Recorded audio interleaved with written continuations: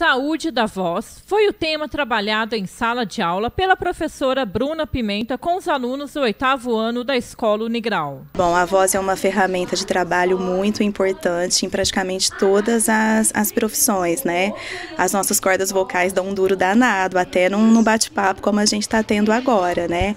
Visando isso, esse, esse cuidado que, que temos que ter com a voz, principalmente agora né, que está começando aí o inverno, a Tatiana, que já é uma grande parceira nossa aqui do Colégio Unigral, ela veio para estar tá dando umas dicas, direcionando. Uh, trazendo mesmo para a vivência, o que a gente aprende dentro da sala de aula, mas um pouquinho aqui fora da sala de aula mesmo com uma profissional, né, que chega muito melhor no aluno. Em complemento à aula, a fonoaudióloga Tatiane Paterlini conversou com os alunos na manhã dessa terça-feira. Bom, a gente trabalha muito a questão do diagnóstico precoce, de prevenção, tá? É, a moçada hoje está precisando muito assim dessa app, né, de prevenção mesmo, porque eles têm os hábitos muito nocivos, né, que é o gritar, o pigarrear. Então, começando desde cedo, eles acabam engrenando aí na questão de prevenção. Então, é isso que a gente busca, um diagnóstico precoce, né, para já tratar os problemas de voz, para eles não darem maiores consequências lá no futuro. O assunto despertou curiosidades de toda a sala, que não perdeu a oportunidade de fazer perguntas. Ou que mora fica normal, mora ou mora fica normal, é tudo. Até você entrar no seu padrão de voz definitivo, tá? Isso se chama muda vocal.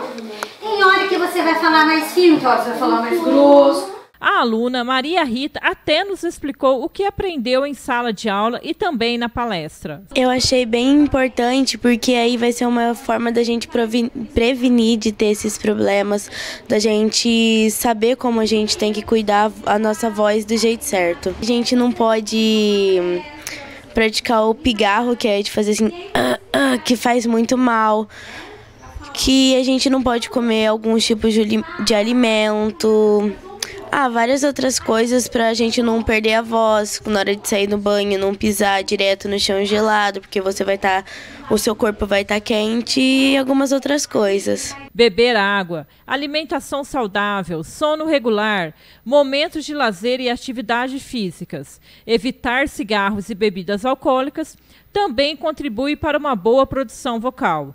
Dicas que foram transmitidas. A gente vê uma profissional falando é, melhor sobre essa parte que a gente está estudando. E eu achei interessante também que ela fala sobre os estágios da nossa voz, que a gente começa com uma voz diferente, aí na fase adulta a gente fica com uma voz muito mais diferente do que a que a gente está agora. No encerramento, a fonoaudióloga apresentou as consequências de não cuidar bem da voz e realizou, junto aos alunos, exercícios que podem ser aplicados no dia a dia. Horário e duas anti-horários.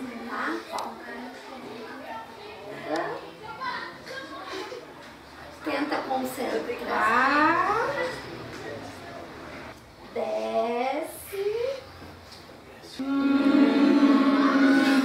Eles perguntam, são interessados. E assim, a gente já está vendo, estamos colhendo alguns frutos já, né?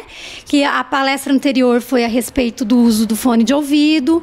Então, eles já manifestaram que não estão usando ou que diminuiu. Então, a gente está colhendo bem os frutos. É uma turma muito participativa. A Bruna também, a professora, né, ela sempre induz isso, as aulas bem dinâmicas, eu acho de fundamental importância, né? Tá tendo esses programas dentro de escola.